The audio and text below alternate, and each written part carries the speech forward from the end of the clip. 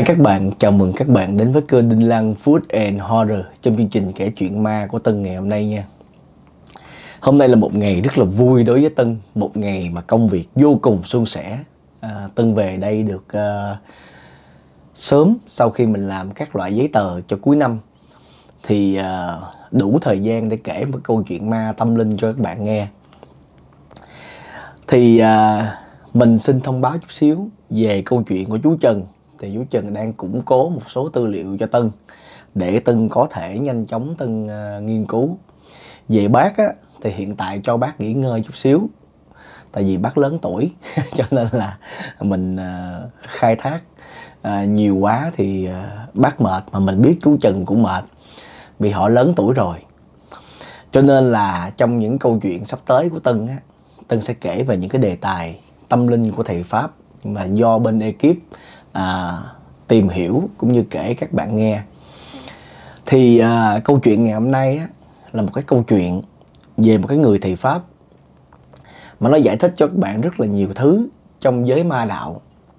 Bởi vì chúng ta biết chánh đạo nhiều rồi nhưng mà chúng ta không có biết nhiều về ma đạo. Nó giống như là một bức màn màu đen.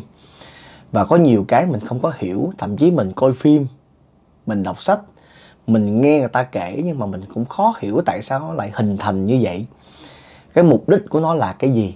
Ha thì qua những câu chuyện sắp tới các bạn sẽ hiểu nhiều hơn. Thì à, cái người thầy pháp này á là một cái người bạn à, lớn tuổi à, của tân. Thì hiện tại cái người thầy pháp này bây giờ thì cũng không còn à, đã à, mất lâu rồi. À, cũng là do những cái à, duyên nghiệp bệnh tật thì à, thầy đã đi. À, khi mà tân cũng mới bước vào đời thì tân cũng biết thầy. Cái nhân duyên biết cái người thầy pháp này á là do nhà bạn của tân ngày xưa ở trong một cái hẻm. Thì nhà bạn sống à, ở cái hẻm này là tương đối cũng lâu. Đâu đó là cũng phải 6 năm. Thì hồi xưa những cái xóm bạn biết á là nó là những cái xóm rất là bình dị không có nhà kính cổng cao tường nhiều cho lắm đa số là người ta xây ta gọi là gác lửng. Có nghĩa là mình nhìn thấy à, cái lầu nhưng mà nó là cái gác. Đa số vật liệu làm bằng gỗ. Thì à, cái lối sống của người thời xưa đó là gia đình là một hộ nhiều khi hai hộ gia đình sống chung với nhau. Thì vẫn ưu tiên phụ nữ thì sẽ có phòng. Nhưng mà ví dụ như anh em à, con trai cha hay là chú gì đó là mình sẽ ngủ cá mồi kiểu ngủ chung với nhau thì à, cái kiểu đó hồi xưa thì nhiều lắm. Bây giờ đời sống à, nó phát triển rồi. À, có lẽ là chúng ta đã có phòng rồi có giường đôi. À, còn ngày xưa là lót cái nệm hai ba nệm lót lại xong rồi ngủ sắp lớp với nhau vậy. Thì nhà người bạn tân thời điểm đó là tự nhiên ở phía đằng sau cái cái cái cái, cái sau nhà nó mọc lên một cái dàn dây trầu bà thì lúc ban đầu gia đình không có để ý, cho đến cái cái dàn dây chầu bà nó phủ ra phía trước của cái à, ban công. Là nó phủ qua cái gác lửng à, ra ban công. Thì lúc đó gia đình mới thấy được cái dây chầu bà nó rủ xuống. Thì cũng có bắt cầu thang lên coi. Coi thấy khoái quá. Bởi thấy tự nhiên có cái vàng là dây chầu bà mọc dại, mà nó phát triển tươi tốt, mà nó còn giúp cho mình che nắng nữa hồi xưa là người ta không có cái thẩm mỹ nhiều trong cái giới người lao động người ta không có thẩm mỹ nhiều cái đời sống của người ta phải kiếm cơm từng đồng. Cho nên là có những cái cửa sổ ngày xưa cửa sổ bằng gỗ đó là người ta không có may cái rèm để che. Thậm chí có người còn lấy cái mền cột lên nữa hay là lấy cái áo bỏ hay là những cái cái, cái giải dụng người ta may chồng chéo nhau ra làm cái rèm để tiết kiệm tiền các bạn mà bây giờ cái dàn dây chầu bà mà nó phủ như vậy đó thì rất là đỡ. Ánh nắng lúc này nó chỉ xen qua thôi nó xuyên qua à, nó tạo những cái tia rất là đẹp. Nó không có làm cho cái căn nhà nó quá nóng như là mọi khi. Nhưng mà bạn biết á, là một khi cái dương khí nó không vào thì âm khí nó sẽ sinh sôi. Thì từ sau cái sự việc đó không hiểu sao nhà bạn tân thì lại xuất hiện một cái bóng người phụ nữ và cái bóng này cứ thập thò ở ngay cái gác, là cái cái gác mình đi lên là có cầu thang gỗ. Thì nó sẽ có cái lan can, mà người ta thì hay phơi đồ, rồi phơi khăn, rồi thậm chí có người còn phơi vỏ quýt, vỏ cam ở đó nữa. Đó thì cứ hệ chiều xuống mà gia đình mà mà tề tụ ăn uống đi lên là có những người nhìn thấy bóng người phụ nữ đó. Nhưng mà do người ta cứ thấp thoáng thấy, người ta cũng không có nghi kỵ gì cho đến khi mà thấy rõ ràng người phụ nữ đó bắt đầu họ hiện hồn ra, họ phá, họ đuổi người trong nhà đi, rồi họ báo mộng những cái người lớn tuổi trong nhà của bạn tân là họ muốn xây cái đó thành mồ mã của họ. Thì gia đình bạn lúc này mới à, đi cầu cứu thầy pháp. Thì lúc đó mới quen được cái người thầy pháp đó. Thì người thầy pháp đó khi mà tới đó thì mới là nói rằng là nhà này là bị ám do là xúc phạm tâm linh nhưng mà nguyên do như thế nào đó thì à, trước mắt là phải phong ứng chứng yểm cái dàn dây chầu bà trước cái đã. Thì bạn biết nhà nó ngày xưa nó vậy nè. Tuy nó là gác lửng phía trước nó là là mặt tiền thì mình không nói là cái hẻm. Nhưng mà cái lưng này một đó là mình đau lưng với nhà của hẻm bên kia. Nhưng mà thường ở giữa có một số ờ, cái căn nhà ở giữa nó có cái khoảnh đất trống.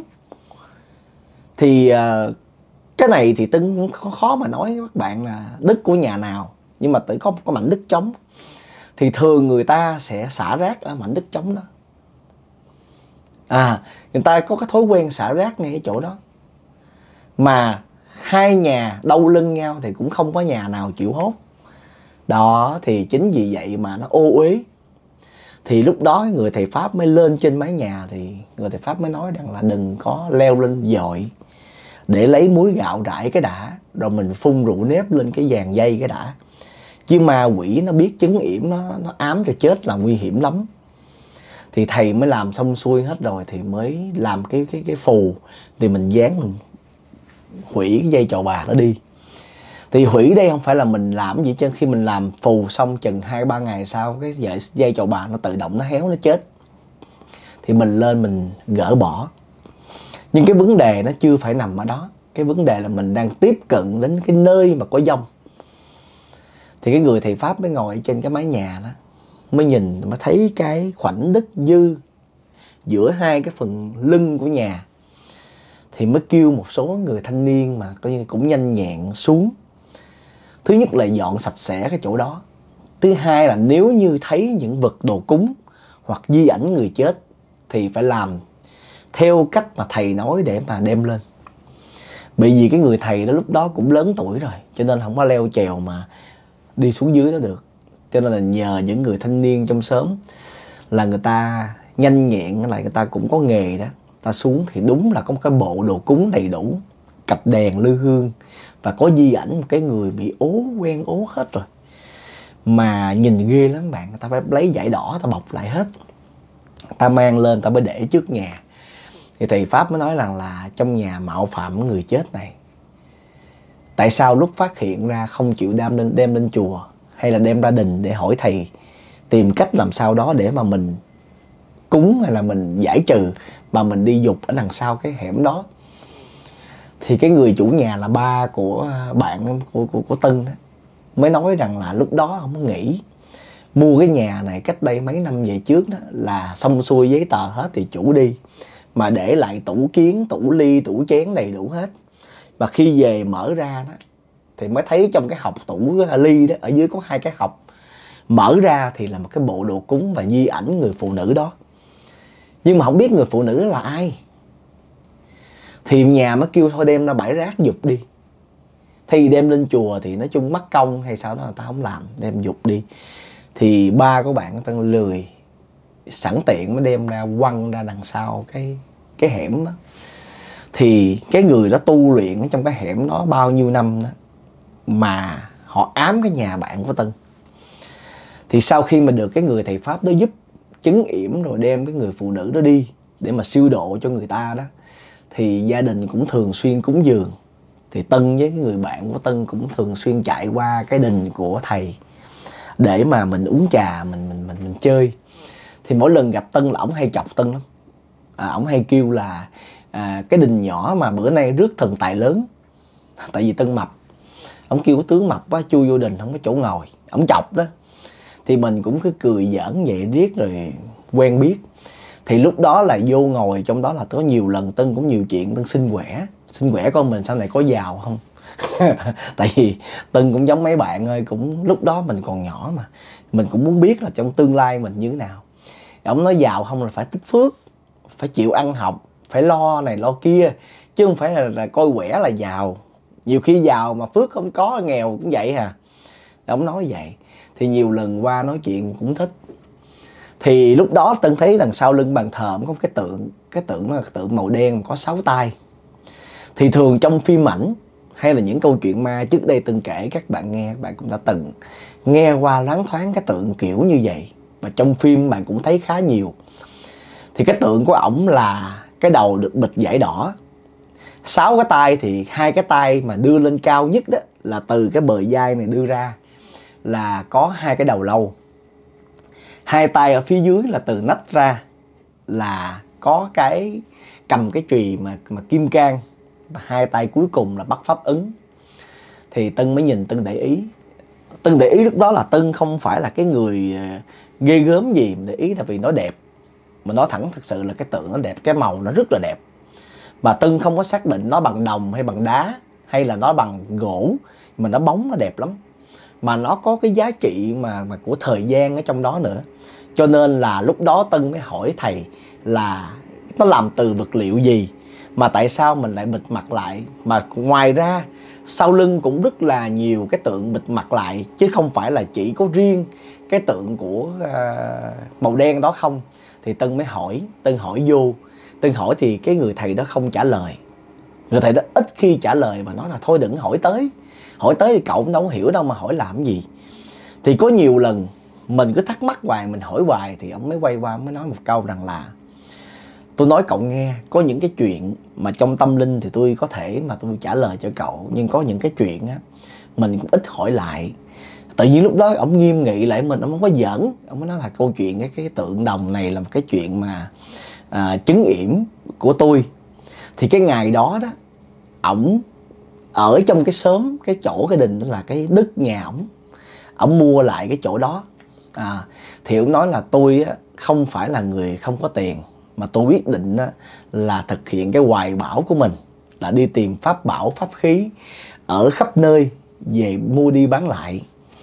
Có nghĩa ông là người đi sưu tầm đồ cổ nhưng mà là pháp bảo các đạo giáo mua đi bán lại thì sẽ có những lần đụng độ với pháp bảo của ma giáo. Thì mình phải làm lễ chôn hoặc là mình làm lễ mình trả lại cho đạo đó. Thì chính vì vậy mà ông mới biết pháp mà ông thành thầy pháp luôn để ông bảo vệ bản thân mình với những cái món đồ đó. Thì khi mà ông về cái đất này nè ông mới mua cái miếng đất này. Ông ông bấm quẻ ông thấy nó phù hợp với vận mạng của ông, ông mới mua ông ở đó. Thì có một cái đêm cái đêm đó trong cái sớm, của ổng xảy ra một cái sự việc rất là bất bình thường là cái nhà đó có hai vợ chồng là làm công nhân nhưng mà gia đình thì tương đối là cũng tương tức chứ không phải là một hộ gia đình mà khó khăn mà hai người đó thương nhau ghê gớm lắm. Mà không hiểu sao tự nhiên đêm hôm đó là người chồng lên cơn điên, cầm con dao bầu chém vợ mình. Nhưng nếu mà cái chuyện xảy ra mà vợ chồng lục đục chém nhau thôi đó, thì nó không có chuyện gì để mình nói hết. Mà khi mà chém đứt cái mạch máu cổ của vợ đó, ổng nhảy vô ổng uống. Ổng uống cái máu đó. Thì bạn biết ngày xưa sớm lao động mà, nhà gác lửng, rồi đời sống mà bà con mình sống gần gũi nhau, sớm giềng. Tối lửa tắt đèn có nhau, nghe chuyện một cái là người ta ùa qua. Chưa kể bà con chòm sớm mà là người thân trong dòng họ mình cũng gần gần đó nữa. Người ta qua thì nhảy vô người ta can. Can thì người chồng lụi chết thêm hai người nữa. Là hàng xóm mà vô can. Nhưng mà lúc đó thì cái người thầy pháp mà thấy chuyện không ổn không ổn ở chỗ là người chồng uống máu vợ mình đây là biểu hiện của quỷ, của tâm ma. Nó xâm phạm vào cái cơ thể của người đó. Chứ không phải là do kích thích hay là một cái loại thuốc nào. Với lại người chồng vốn dĩ là người lao động, là công nhân. Thì không thể nào mà tự nhiên sử dụng những cái thuốc kích thích đó mà nó độc phát liền trong ngày hôm đó được. Đó là thứ nhất. Thứ hai là người thầy này để ý trong nhà có cái tượng màu đen đó. Có cái tượng màu đen đó. Thì lúc đó là cái người thầy pháp này đó mới nói lại với chòm sớm, nhưng mà sau khi sự việc đó xong rồi, thì mới dám nói là tại vì sao? Thứ nhất là ma đạo đó, nó có nhiều đạo phái khác nhau. Nó tạo ra tượng để nó đưa cái âm khí ma quỷ vào trong đó. Nó khiển cái người mà yếu nhất trong nhà để mà gây ra đại họa, từ đó mà làm cho những người khác kinh sợ mà kinh sợ đây là kinh sợ cả sớm giềng là thứ nhất. Hai là dòng tộc, tức nghĩa là sao? Những người hồi xưa đó, họ có cái thói quen sống gần gũi gia đình mình. Thí dụ như ông bà cha mẹ thường sẽ mua nhà gần gần gần gần đó cho con cái khai chi tán nghiệp.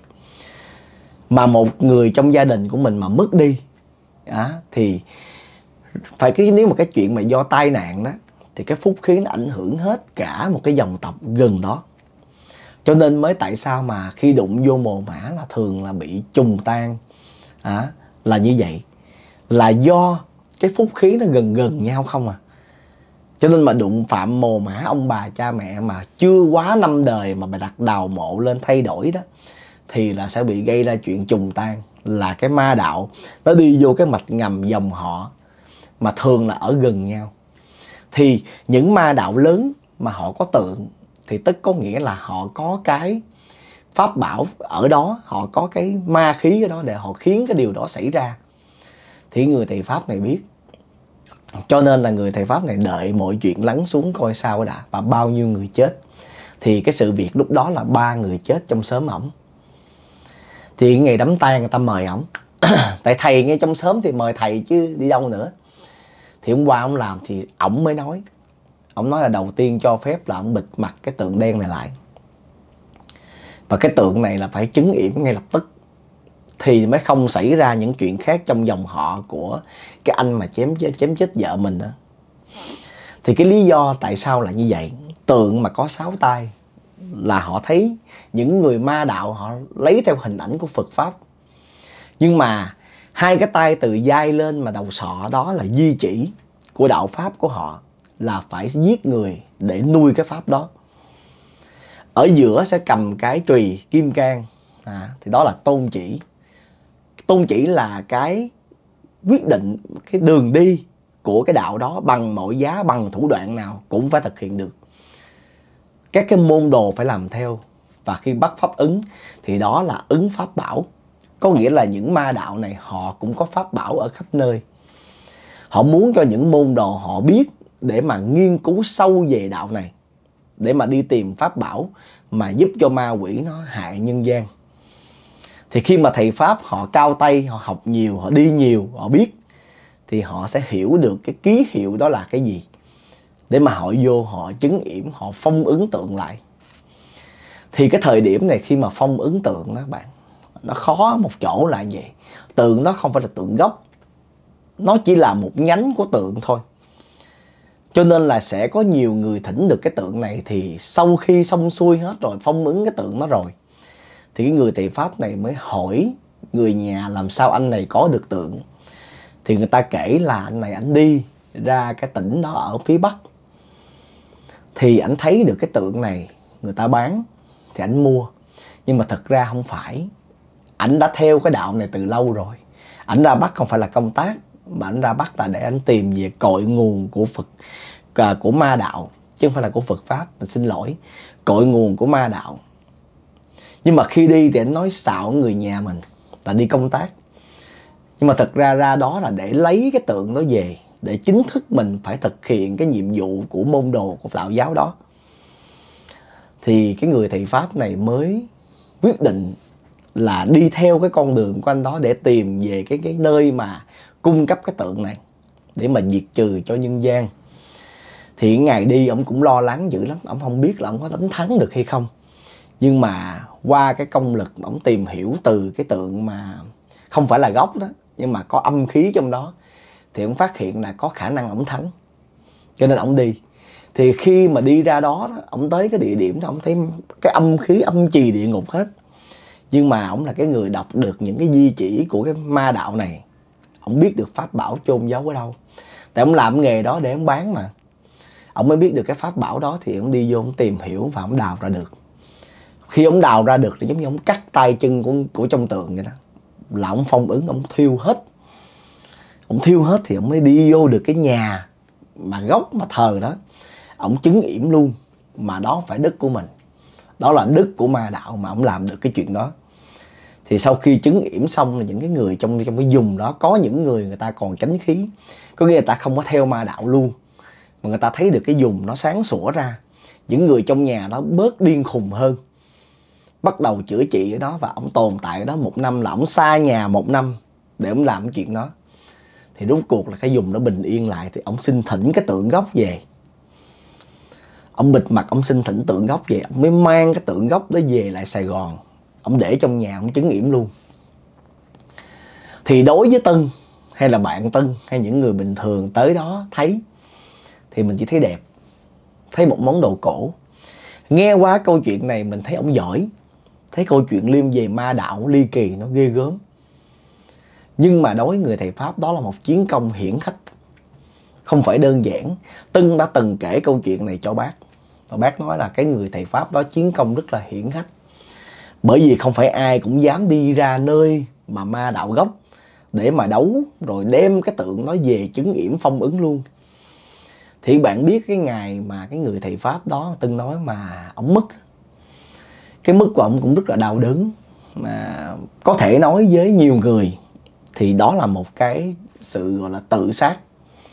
Nhưng mà đối với những người mà tiếp xúc lâu hay là hiểu về cái thế giới của tâm linh thì đó là hy sinh tại vì nếu như ông mất đi rồi những cái tượng ở trong nhà của ổng sẽ không có giao lại cho ai được. Mà lỡ người ta vô thấy đẹp đúng là y chang là những gì tân nghĩ thôi tại vì tân thấy nó đẹp. Nếu như sở hữu được nó tân thích liền ma đạo nó luôn làm cho bạn thích. Thậm chí nó nó khơi dậy cái, cái tâm ác của bạn bằng mọi giá bạn phải trộm cắp cái đó. Mặc dù bình thường tiền để trước mặt bạn không lấy nhưng mà bạn phải lấy cái tượng. Nó khiến mà cho nên người thầy pháp có thấy tân hỏi nhiều là ông thấy là có nhân duyên. Ông cắt liền ông kể câu chuyện là ông cắt luôn. Thì sau này cái người thầy đó lớn quá rồi bệnh bệnh là do thầy xưa người ta ở nó tương đối nó cũng không có sạch sẽ. Nhất thứ hai nữa là ăn uống không có đủ chất mấy bạn. Thật sự ăn uống kham khổ không có đủ chất rồi à, bôn ba rài đây mai đó mà sống trong những người âm không mà thì mình bị tổn phước đó, thì lúc đó là ông yếu đó, thì ông châm lửa, ông đốt nhà luôn. Ông tự thiêu trong nhà, ông đốt luôn. Để mà ông phong ứng luôn tất cả những tượng mà những cái công trạng ông đã từng tạo ra đó, ông phong ứng luôn. Ông tự hóa đốt thành một cái linh hồn để ông phong ứng luôn. Chứ ông không có để cho ông chết rồi người khác vô chôn tụng, rồi lỡ như chôm những cái tượng đó về thì công đức lâu nay ông phong ứng nó đổ sông đổ biển đó. thì tại sao mình biết như vậy? Thì ông cũng gửi lá thư cho những người mà thân thiết. Tân thì không có, tân không có thân đến cái độ đó. Nó mình còn nhỏ. Ông gửi những cái người mà đồng đạo thân thiết. Ông nguyện tự thiêu để mà cái linh hồn ông phong ứng hết những gì mà ông đã thu phục về. Thì lúc đó là cháy mà nó chỉ cháy xung quanh cái đình, cái nhà của ổng thôi. Nó vừa đủ cháy hết tất cả mọi thứ thì đúng là người ta vô người ta thấy là ổng đốt cái tượng trước ông đốt tượng hết ông làm phong ứng hết rồi mới châm lửa ông đốt ổng. Nó làm chết trong cái cái cái cái chỗ đó luôn. Các bạn thấy những người tỳ pháp á, đôi khi họ rất là tội. Cái con đường đi của họ nhiều khi người ta không có tin. Khi mà người ta nhìn thấy là người ta sẽ cho đó là mê tín dị đoan. Nhưng mà bạn thử suy nghĩ mê tín cỡ nào mà dám hy sinh bản thân mình? Dám tự thiêu để mà đi theo cái con đường mê tín sao? Thì mỗi người một cái suy nghĩ. Nhưng mà đó là những gì mà tân chứng kiến trong cái quá trình mà mình sinh sống mình tồn tại mình gia chạm đến giờ phút này. Có những câu chuyện mình không thể giải thích tại sao người ta lại làm vậy và dám làm vậy. Tại sao người ta lại làm như vậy mà không những cái cái cái, cái câu chuyện đó thì lúc đó tân cũng chưa có mừng tượng nhiều cho đến khi tân gặp bác gặp những người bạn đồng đạo khác làm thầy pháp.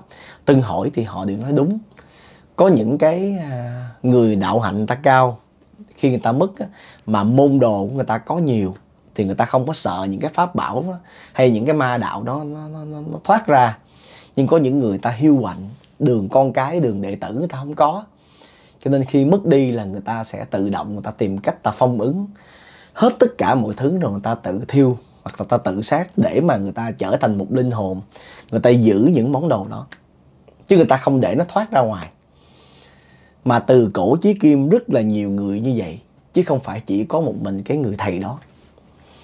Cho nên là trong cái quá trình mà mình kể chuyện tâm linh đôi khi có những người nói chuyện trên trời dưới đất. Nhưng mà nó lại có nó lại tồn tại thì mình hiểu mình kể. Trong quá trình kể đó sẽ có những thứ mà không thể diễn tả hết bằng lời. Ví dụ như hai từ công lực. À, công lực thì pháp thì mình diễn tả như thế nào đây? Nó chỉ diễn tả được bằng phim thôi là, là khi mình vận công rồi những cái gì cái luồng khí nóng nó đi xung quanh rồi màu xanh màu đỏ màu vàng thì có phim nó mới thể hiện được thôi. Còn qua cái lời kể nó chỉ dừng lại ở một cái giới hạn nhất định mà mình cố gắng để mình kể cho các bạn nghe. Giải trí thôi mà nhưng mà tâm linh lại tồn tại ở khắp nơi ha các bạn thấy sao về câu chuyện ngày hôm nay cho tân biết trong phần bình luận? Nếu thích, nhớ like, share và subscribe để kênh youtube của tân đến với nhiều người hơn. Bây giờ thì bye bye hẹp lại với câu chuyện vào lần sau. Bye bye.